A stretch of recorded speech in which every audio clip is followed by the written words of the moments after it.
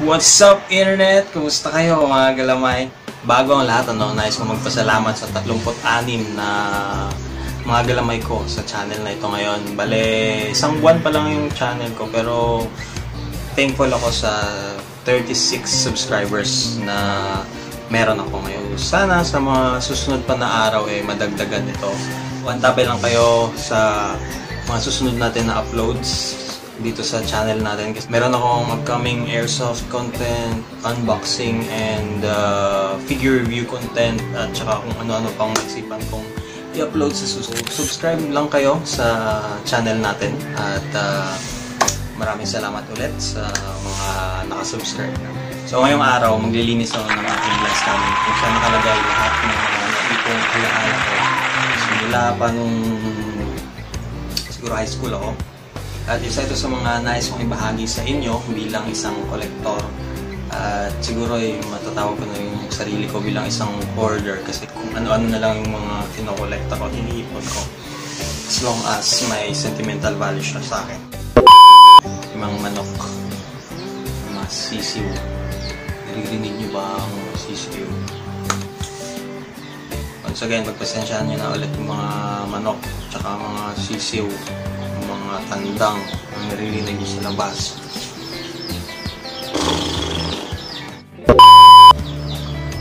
Rolling tayo, no?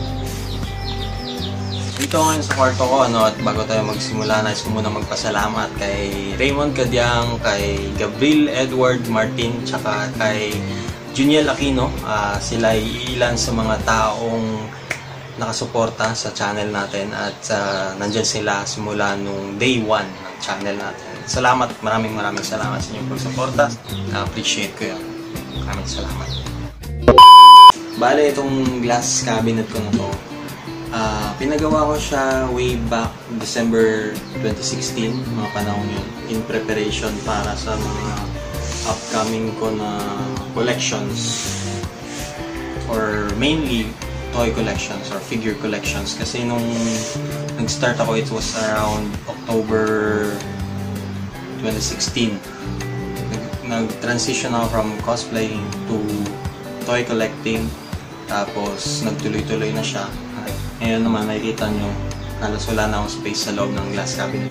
Nung isang araw napansin ko na medyo naiipon ng mga alikabok sa loob. So naisipan kong uh, linisan siya ngayon. At uh, gusto kong ibahagi sa inyo yung kwento ng bawat isa or hindi naman lahat mostly yung mga memorable ko na uh, alaala sa mga laman ng cabinet ko. Simulan na natin. This is it pusit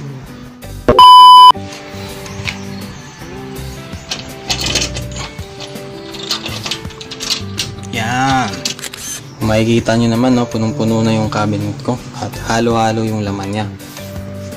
Dito sa taas uh, ito yung pinaka favorite ko na part ng glass cabinet ko.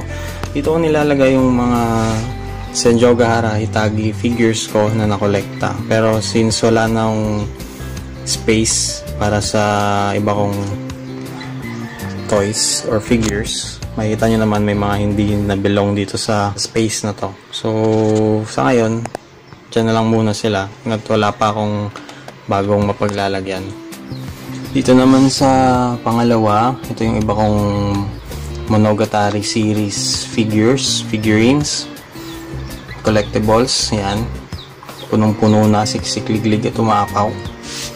Tapos, dito sa pangatlong space natin, halo-halo na yung laman nito mostly dito yung mga first figures ko nung nagsistart pa lang ako. So medyo halo-halo.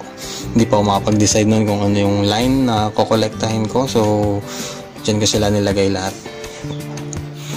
Dito naman sa pang-apat na space makikita natin yung uh, mga manga may magazines meron din mga libro comic books tapos, more toys. Meron na akong commemorative coins.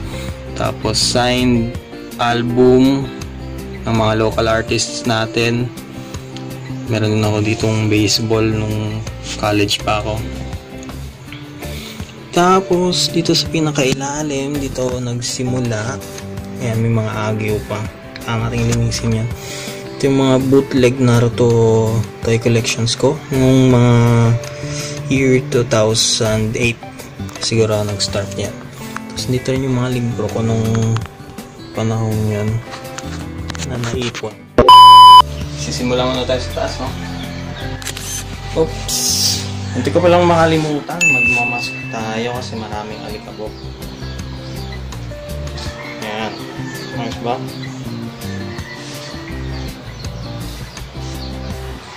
Tsaka kapag lalabas kayo, huwag niyo kakalimutan yung mga mask niyo. ah. Kasi delikado ngayon. Doble ingat tayo pag lalabas.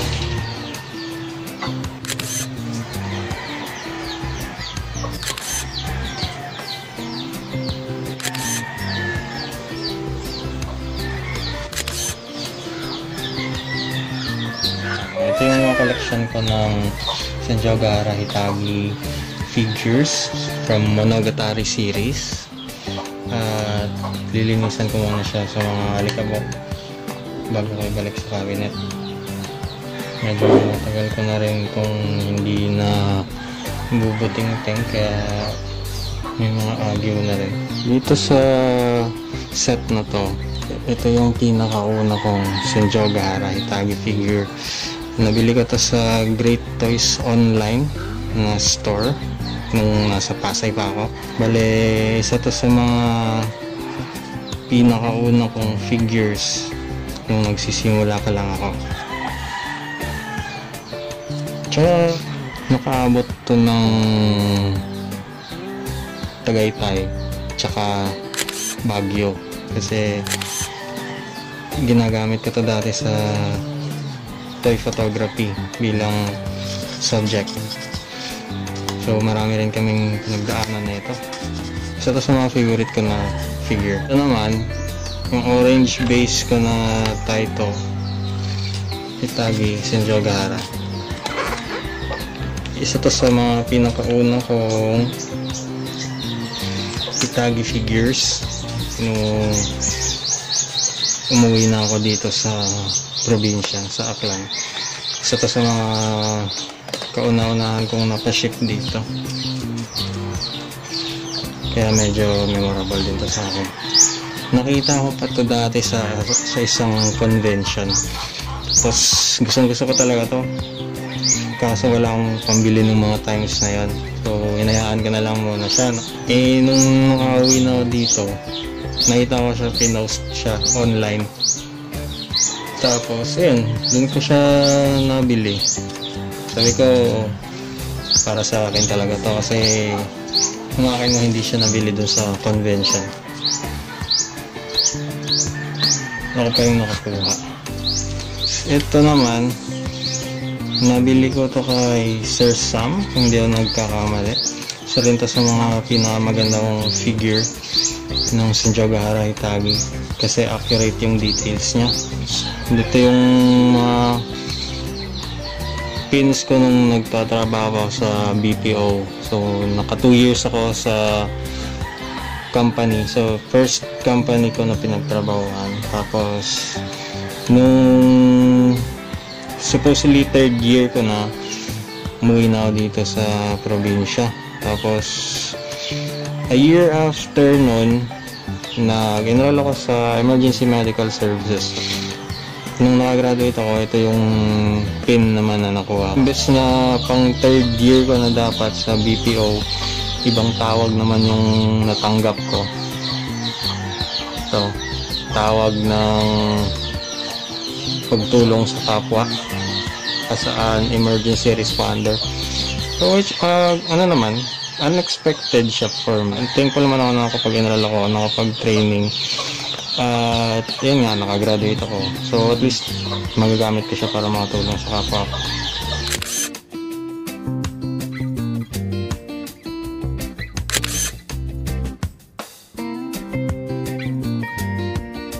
Ito nga pala yung Koyomi Araragi ko na figures so far.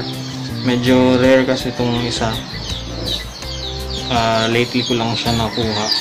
Dito naman tayo sa pangalawang space. Medyo marami-raming laman to kaya Ewan ko na lang. Kanbaru Suruga. Sengoku Nadeko. Hanekawa Chubasa. Araragi Karen, Araragi Tsuki. Ito yung isa sa mga favorite ko na Mayoi Hachikuji figures. Kasi maganda yung kanyang paint job. Tapos malaki yung figure. Kiss Shot Acerola Orion Heart Underblade. Medyo marami ng alikabok. Ito yung isa kong favorite na Kanbaro Suruga figure from Hana Monogatari. Bale, ito naman yung set ko ng Monogatari figures. Yung pinakauna ko dito na nabili nung nasa Pasay pa ako nagsistay yung Pararagi Tsukihiko na Ban Presto. Kasabay yun nung Itagi Senjogahara ko na naka-jacket kanina. Yung Koi Monogatari Hit, Senjogahara Hitagi tapos pangalawa naman tong Hanekawa Tsubasa tapos pagkakaalala ko ito yung pangatlo ko eh. Tapos ayun o dumami na sila nang dumami. So medyo matagal ko na rin yung dito nalilinisan. Yung iba marami na rin alikabok. So sisimulan ko na muna yung pagkukuskos. Standby muna kayo dyan.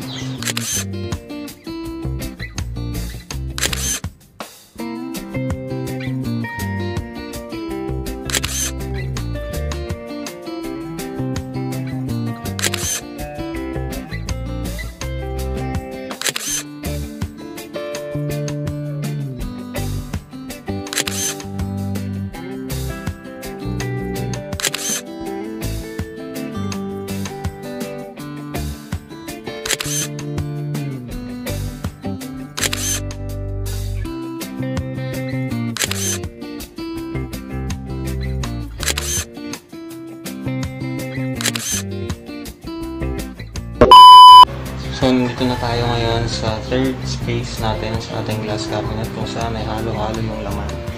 Isa sa pinaka-memorable ko na alaala dito sa third space natin. Itong BWFC Jinbeko na napanalunan sa isang toy photography contest kung saan ako ay nanalo ng People's Choice Awards at yung mga nagpapanalo sa akin ay hindi basta-basta mga tao kundi ang pinagsama-samang lakas ng mga lasinggero dito sa Pilipinas. Sila yung nag-like, nag-comment, tsaka nag-share ng picture ko para manalo. At itong figure na to ang magpapaalala sa akin nung nakakatuwang experience na yan. So hindi hindi ko ito pagpapalit at tsaka bonus trivia yung sculptor ng ng figure na to isang Pinoy. Meron din ako Toaro Majutsu no Index Figures Accelerator. Ito naman yung figure ko sa underrated anime na Robotics Notes. Nakita ko na to before pero medyo mahal kasi nakaset yung price niya. Hindi ko siya nakuha. Pero nag-sale yung seller. Tapos wala namang, since wala namang kumukuha, eh di binili ko na since alam ko naman yung ano kasi yung anime tapos underrated kasi siya. Siguro konti lang yung nanonood kaya walang naka-identify ng figure or, or walang naka-appreciate ng figure. Kaya ayun, kinuha ko na siya. Dumaan yun ako sa face kung saan sumubok bumuo ng Gundam yan, meron akong high grade perfect strike figure. Napakabagito ko pa naman sa plastic model kits kaya medyo hindi pa ganon kaganda yung pagkakabuo ko ng figure na to. Tapos ito, Van Presto yata itong Buster Gundam ko. Siyempre, meron din ako mga One Piece figures. Gaya na itong si Wiper. Isa to sa mga favorite characters ko sa One Piece. Eh. Sky TR. Ito, isa siyang bootleg na figure. Isa to sa mga una kong kinolek noon nung nagsisimula pa ako. Hindi ko pa masyadong alam yung mga classifications ng mga figures. So, merong mga bootleg, merong mga authentic, mga original, mga gano'n. Na engganyo ako sa dito dati kasi mura siya, tapos malaki. Yun pala, ano, bootleg siya. Yan. Okay lang naman. Mga tatawag natin yung uh, lessons. Ito yung pinakauna ko na Figma, si Haruhi Suzumiya. So, dito ako naengganyo na mag-explore ng toy photography kasi nga articulated yung figure. Ito naman, syempre hindi ko makakalimutan itong Guilty Crown collection ko na to. Naalala ko to nung binili ko to. Mm, dumayo ko sa Ayala Triangle neto ng mga alas 8 ng gabi. Isang oras bago magsimula yung shift ko nun sa BPO. So medyo nakakatuwa rin yung experience kasi syempre gabi na. Tapos Marami pa namang tao nun sa Ayala Triangle pero isa yung sa mga hindi ko malilimutang karanasan sa paghahunt ng mga figures. Yan. Nakuha ko pala sila March 2017 yata. I think this served as a birthday gift to myself those during those times. Yan. Kaya medyo memorable din sila sa akin. Ito naman si Menjo Are medyo marami na rin alikabok ko. Hindi ko pa rin nahanap yung kapareho nito na ano, Inori Yuzuria. Tapos, syempre, makawala ba naman. This is Old Clothes by Miss Ingrid Tan. Nakita ko siya sa Facebook uh, year 2014 nung nag-attend, umattend ako ng Asia Pop Comic Con last uh, 2016. Nagulat ako kasi nakita ko to. Then, sabi ko parang familiar. Tapos, naalala ko nga na ito yung artworks or series of artworks na nakita ko sa Facebook noong 2014. And I had it signed August 29. Was it August 29? Yes, August 29, 2016. And I still have it until now.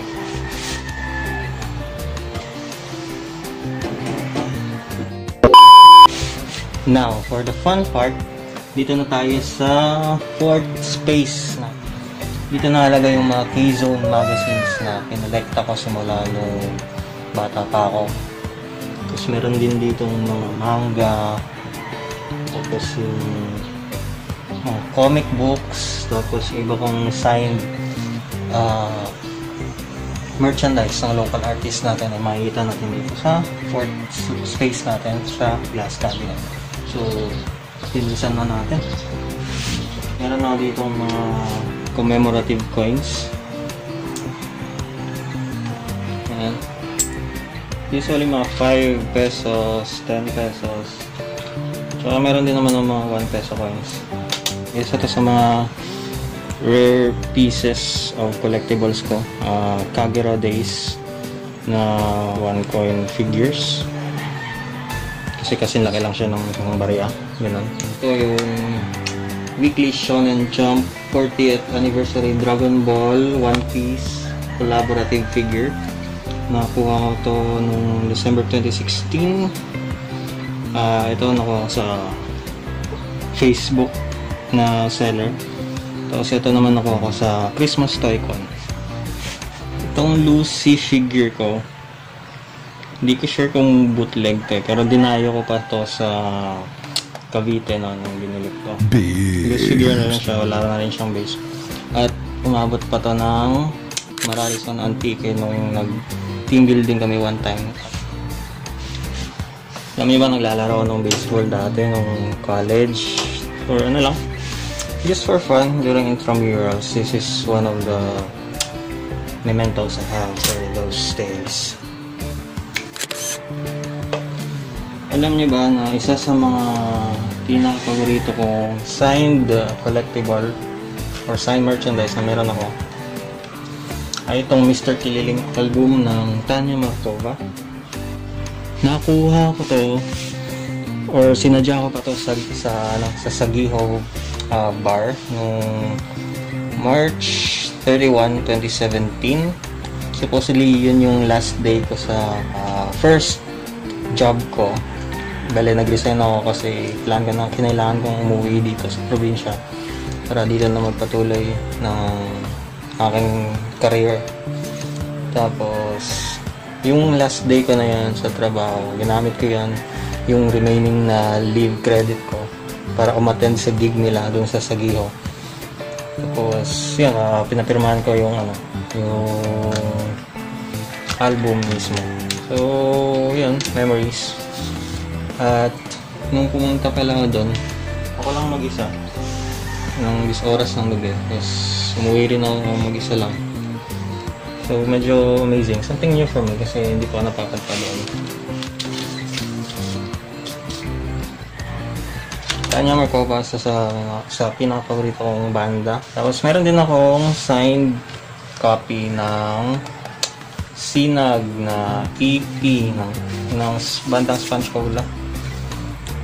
Uh, binigay ko sa akin ng high school classmate tsaka friend ko nung birthday gift din to nung ano eh, March 2017. This is this was signed January 11, 2017 nung umuwi ako nung umuwi ako dito in time for Atiatian that year. Umattend ako na event nila sa Magsaysay Park. Tapos nanalo din yung kaklase ko na itong signed CD na to. Then, hindi ko rin alam pero binigay niya sa akin as birthday gift nung taon na yan. So, thank you so much, Sheila. I still have your gift. Ayan, meron tayo Nishio Ishin Bakemonogatari Part 1. Meron din ako dito na first photo book ng friend ko na si Katie Kiki.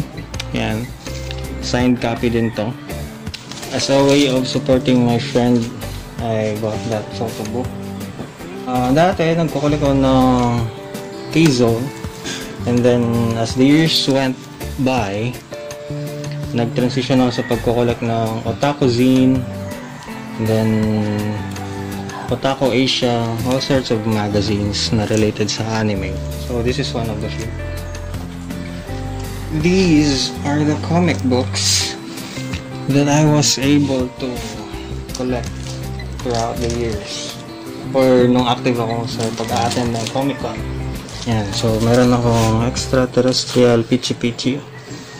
Yan, makikita nyo may plastic cover pa. Yan.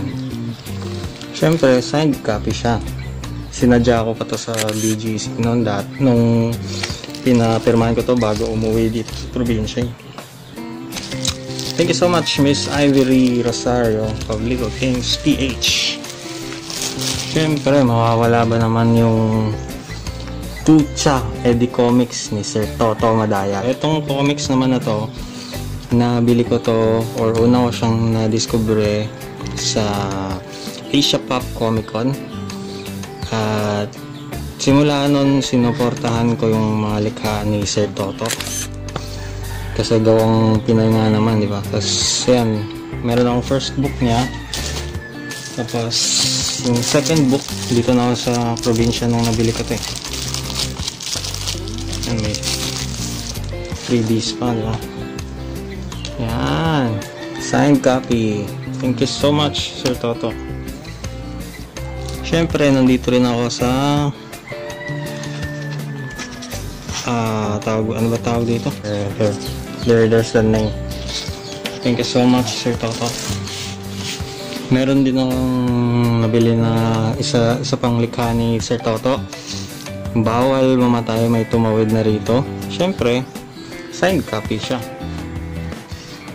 This is uh, this was uh, made by Mr. or Sir Michael David. There you go